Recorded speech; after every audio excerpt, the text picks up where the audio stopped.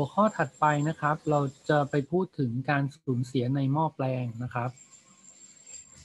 การสูญเสียในหม้อแปลงเนี่ยจะมีอยู่ 2 แบบนะครับ แบบแรกเราเรียกว่า no load loss นะครับ อันนี้นะ ตรงนี้นะครับ กับอีกแบบหนึ่งเราเรียกว่า load loss นะครับ โอเคนะครับ ได้ยินอยู่นะ อะผมเขียนให้ดูตรงนี้นะครับ การสูญเสียในหม้อแปลงนะมี 2 แบบนะครับ อันเรียกอันแรกเรียกว่า load loss นะครับเนาะอันที่โอ้โทษโทษอันแรกคือ no load loss นะครับ แล้วก็อันที่สองเนี่ยเราเรียกว่า load loss นะครับตัวนี้เนี่ย load loss จะมีชื่อเรียกอีกอันหนึ่งนะครับเขาเรียกว่าเออโทษโทษเอาใหม่ no load loss จะมีชื่อเรียกอีกอันหนึ่งว่า core loss นะครับนะคือการสูญเสียที่แกนเหล็กนะครับ ส่วน load loss เนี่ยจะเรียกอีกอย่างหนึ่งว่า copper loss นะครับ คือการสูญเสียในลวดทองแดงที่เป็นสายไฟนะครับตัว no load loss หรือว่า core loss เนี่ย ความหมายของมันก็คือเออเป็นความสูญเสียแบบคงที่นะครับคำว่าสูญเสียคงที่ก็หมายความว่า ไม่ว่าเราจะมีการ ใช้โหลดหรือไม่ใช้โหลดนะครับ คือคืออาคารเราอะ่ะจะมีการใช้ไฟฟ้าหรือไม่มีก็ตามเนี่ยคอลอสจะเกิดขึ้นที่หม้อแปลงตลอดเวลานะครับนะครับความหมายคือแบบนี้นะนะครับ ส่วน copper loss เนี่ยก็จะไม่ได้เกิดขึ้นตลอดเวลานะครับ อันนี้ก็คือแปลตามาระนะครับแปลตามภาระการใช้ไฟฟ้านะครับ ก็ถ้าใช้ไฟฟ้ามาก ก็จะมี copper loss เกิดขึ้นมาก มันคือ loss ในสายส่งนะครับ loss ในลวดทองแดงที่เป็นสายไฟนะครับ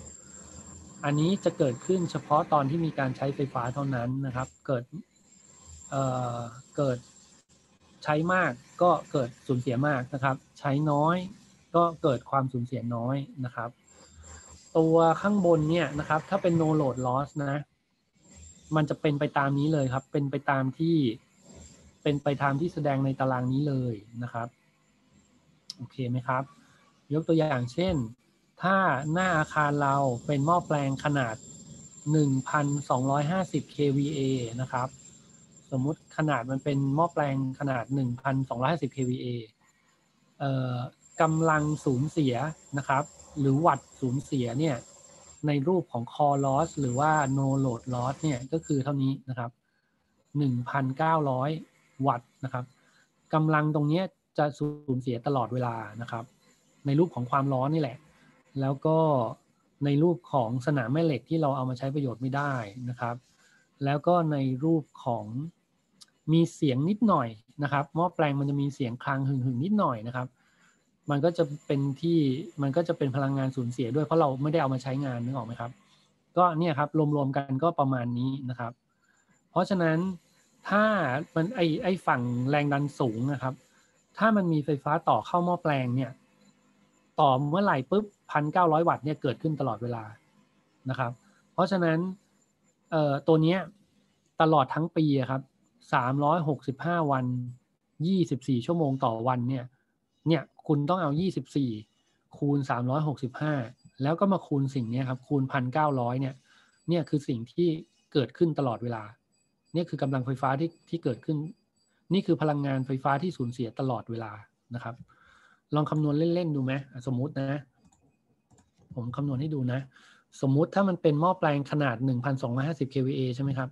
แล้วมันสูญเสีย1,900วัตต์ตลอดเวลานะอะคุณลองดูนะ คุณคูณกับอะไรนะ24ชั่วโมงต่อวันใช่ไหมครับ แล้วก็ไปคูณกับอะไรนะ365วัน ใช่ไหมต่อต่อปีใช่ไหมลองดูที่คุณสูญเสียกำลังไฟฟ้าเท่าไหร่นะครับคุณให้ดูเลยสดๆเลยนะ คือเดี๋ยวจะชวนให้เห็นว่าตัวเลขมันเยอะเหมือนกันนะ พันเก้าร้อยวัตต์ใช่ไหมครับ คูณยี่บสี่คูณสามหกห้านะครับ เท่านี้ครับเดี๋ยวนะเนี่ย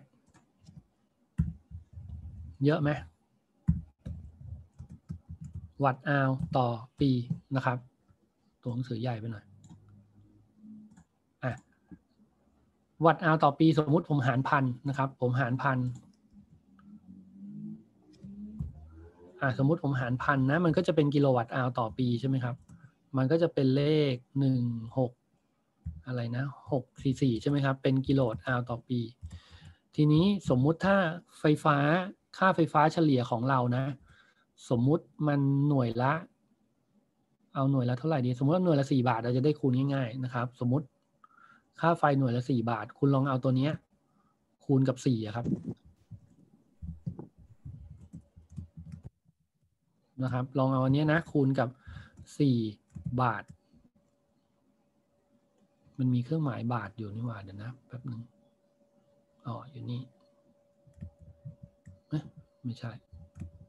นี่ ต่ออะไรนะ ต่อกิโลวัตต์ต่อหน่วยใช่ไหมต่อกิโลวัตต์อาวนะครับ ดูนี่ออกมาเป็นเงินกี่บาทครับ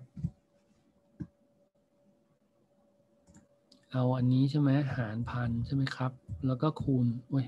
คูณสี่บาท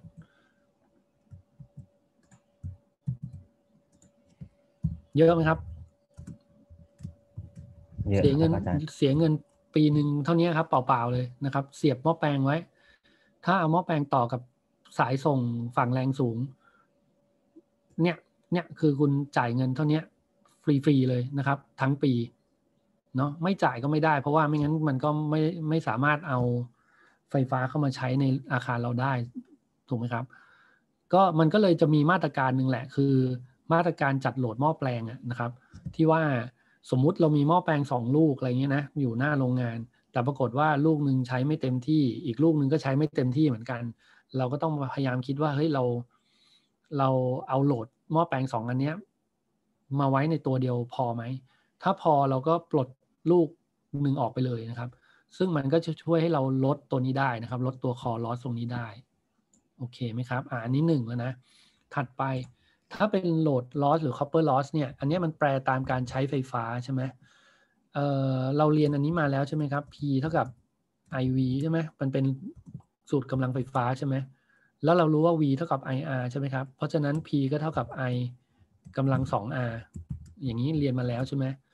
อันนี้ครับคือตัวเนี้ย มันคือ loss ในสายส่งมันคือ copper loss เขาจะคำนวณจากตรงนี้นะครับ I กำลัง 2R เพราะฉะนั้นถ้าในสายส่งเราเนี่ย มันมีกระแสไฟวิ่งเท่ากับ I แล้วก็มีความต้านทานของสายไฟฟ้าเท่ากับ R เนี่ย เราจะคำนวณได้ว่า copper loss ของเราอะฝั่งฝั่งใช้งานของเราอะนะครับ มี copper loss เท่าไหร่นะครับ ก็เป็นที่มาว่ายิ่งใช้มากใช่ไหมกระแสยิ่งใช้กระแสมาก power loss ก็ยิ่งมากนะครับ พอใช้กระแสน้อย power loss ก็ยิ่งน้อยนะครับ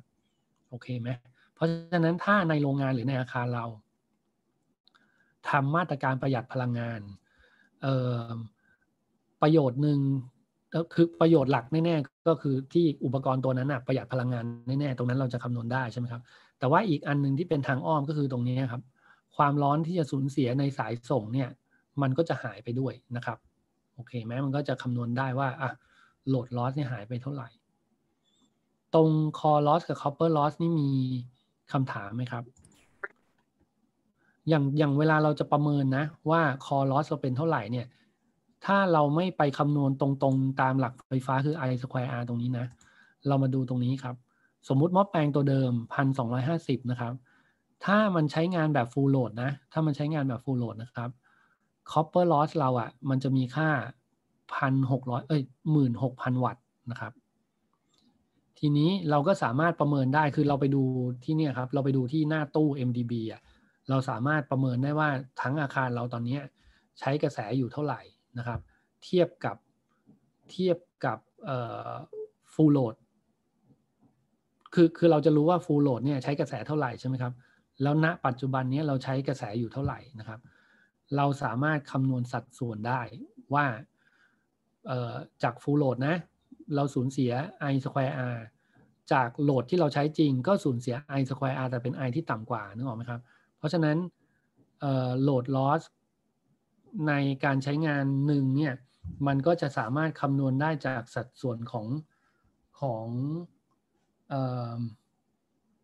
ไอ กำลังสองต่อไอกำลังสองนะครับ สงสัยพูดแล้วจะงงแน่เลยว่ะเดี๋ยวเดี๋ยวผมเขียนใน iPad ให้ดูแล้วกันนะ แป๊บหนึ่งนะครับ เดี๋ยวผมแชร์หน้าจอให้นิดหนึ่ง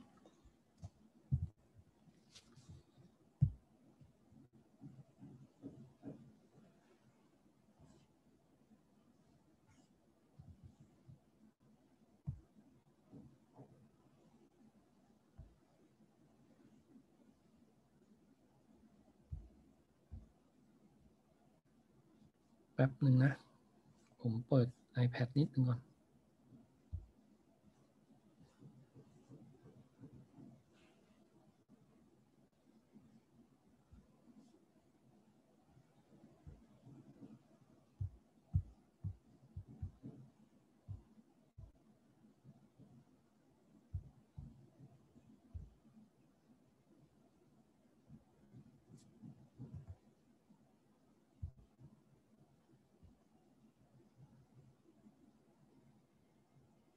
อ๋อ เดี๋ยวแป๊บนึงนะ ผมต้องสต็อปแชร์นี้ก่อนเดี๋ยวนะ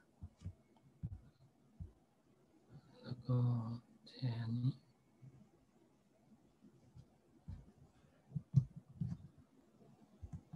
ว่าทำไมมันไม่ขึ้น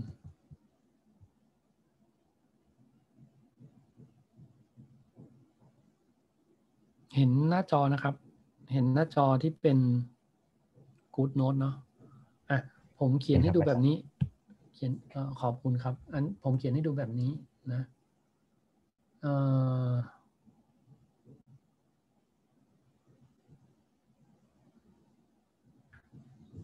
ผมเขียนให้ดูว่าเป็น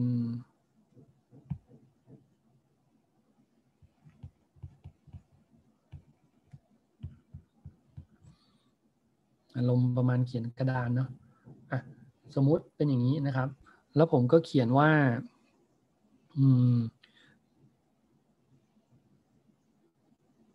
สมมุติตอนที่เป็น full load นะครับ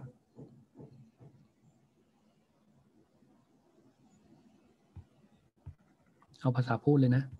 ตอนที่ใช้ full load นะครับ มันก็จะมี loss เท่ากับ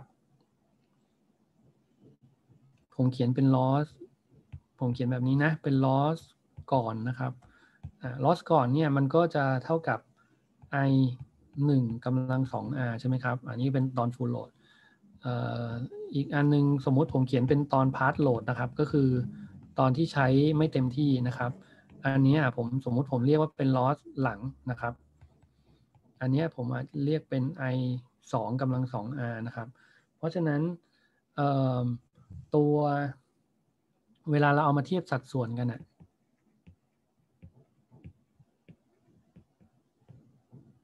นะครับ พอเรามาเทียบสัดส่วนกันนะ ผมก็สามารถเขียนแบบนี้ได้ใช่ไหมครับ loss หลังเทียบกับ loss ก่อนใช่ไหมครับ มันจะเท่ากับ อันนี้นะครับ เทียบกับอันนี้นะครับ ทีนี้สายส่งเรามันเป็นสายเดียวกันใช่ไหมเพราะฉะนั้นตัว R มันก็เหมือนกันนั่นแหละนะครับ เพียงแต่ว่าจังหวะที่จังหวะที่ใช้งานเราอะ ใช้ full load หรือไม่ full load ใช่ไหมนึกออกไหมครับ ตรงนี้มันจะตัดกันไปนะครับ ทีนี้ถ้าเราอยากรู้ว่า loss ณขณะใดขณะหนึ่งที่เราใช้เนี่ยเป็นกี่เท่าของ loss ณขณะที่ full load เราก็ทำแค่นี้เองถูกไหมครับ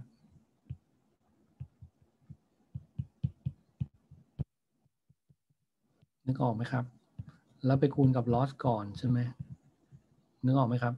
คือ ถ้าถ้า loss ก่อนตรงนี้มันคือ loss full load นะครับ ที่เราเปิดได้จากตารางเมื่อกี้ใช่ไหมที่ว่าอะไรนะหม้อแปลงขนาด 1,250 kVA นะครับ ถ้าเดิน full load เนี่ยเอ่อมันจะมีสูญเสียในสายส่งอะสายทองแดงอะนะครับ 16,000 วัตต์นะครับ มันคือตรงนี้แหละเนี่ยคือ 16,000 วัตต์ แล้วก็เราก็ต้องแต่ข้อมูลที่เราต้องมีในมืออยู่อันนึงคือตัวนี้นะครับ ที่ไอตัวกระแส full load นะครับ ส่วนณขณะใดขณะหนึ่ง เราอยากรู้ว่าเอ๊ะปัจจุบันณณตอนนี้ที่เราใช้โหลดจริงอยู่เนี่ย มันมี copper loss อยู่เท่าไหร่เนี่ยสิ่งที่เราทำก็คือ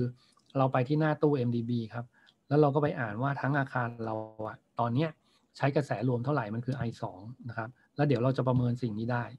ว่า copper loss ในหม้อแปลงเราอะมีค่าเท่าไหร่ อันนี้โอเคไหมครับ อันนี้มีคำถามไหมพอเห็นภาพอยู่เนาะ อะ ทีนี้กลับมา เดี๋ยวผมดูโพยนิดนึงนะว่า โอเค ท่อน ท่อนของหม้อแปลงหลักๆ เนี่ยน่าจะเป็นประมาณนี้นะครับ ตกลงสรุปหลักการได้ไหมเนี่ยว่าหม้อแปลงนี่เราพูดเรื่องอะไรบ้างเนี่ย เรามีเรื่องหลักการทำงานใช่ไหมก็ง่ายๆใช่ไหมครับ เอาขดลวดพันๆแกนเหล็กใช่ไหมแล้วก็ ใช้ไฟฟ้าเปลี่ยนเป็นสนามแม่เหล็ก สนามแม่เหล็กมันเหนี่ยวนำให้เกิดกระแสไฟฟ้าในอีกฝั่งหนึ่งใช่ไหมครับ อยากลดแรงดันเท่าไหร่ก็พันขดลวดให้มีจำนวนรอบ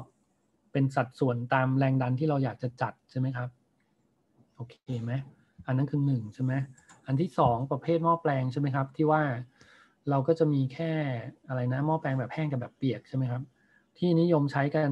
มากกว่าก็คือแบบเปียกใช่ไหมครับ ที่ใช้น้ำมันเป็นตัวหล่อเย็นนะครับ เป็นตัวระบายความร้อนนะครับ เพราะว่าราคาถูกกว่าด้วยนะครับเราคุยกันเรื่อง load factor ไปแล้วว่ามันคืออะไรนะครับ มีความสำคัญยังไงนะครับ แล้วก็อันสุดท้ายของหม้อแปลงก็จะเป็นเรื่อง core loss กับ copper loss นะครับ core loss หรือว่า no load loss ก็คือใช้ load หรือไม่ใช้ load ในอาคาร มีการสูญเสียเกิดขึ้นตลอดเวลานะครับ เมื่อไหร่ที่ฝั่งสาย อะไรนะฟักเมื่อไหร่ที่สายส่งฝั่งแรงดันสูง เชื่อมต่อเข้ากับหม้อแปลงเรา เมื่อนั้น core loss เกิดขึ้นตลอดเวลานะครับ เพราะฉะนั้นถ้าเราสามารถบริหารจัดการได้โดยการรวมโหลดหม้อแปลง แล้วมีหม้อแปลงบางตัวที่เราปลดฝั่งแรงดันสูงออกได้เนี่ยเออมันก็จะช่วยกำจัด core loss ได้นะครับ เพราะว่าเงินมันสูงเหมือนกันนะ เมื่อกี้ที่เราแค่หม้อแปลงตัวเล็กๆพัน kVA พันสองร้อยห้าสิบ kVA เนี่ย ก็ยังเสียปีหนึ่งหกเจ็ดหมื่นเปล่าๆเลยนะครับอีกอันนึงเป็น copper loss นะครับ อันนี้ก็คือ loss ในสายส่งสายไฟสายทองแดงเขาก็เลยเรียก copper loss นะครับ อันนี้ก็จะสูญเสียตามปริมาณโหลดที่ใช้ตามภาระไฟฟ้าที่ใช้นะครับ วิธีคำนวณก็ใช้วิธีคำนวณเป็นสัดส่วนของ i กำลังสองนะครับ แล้วก็เอาไปเทียบกับค่า full load ที่จะเป็นตารางกำกับมากับหม้อแปลงยี่ห้อนั้นๆนะครับ ส่วนของแม่หม้อแปลงเราก็น่าจะมีเนื้อหาประมาณนี้นะครับ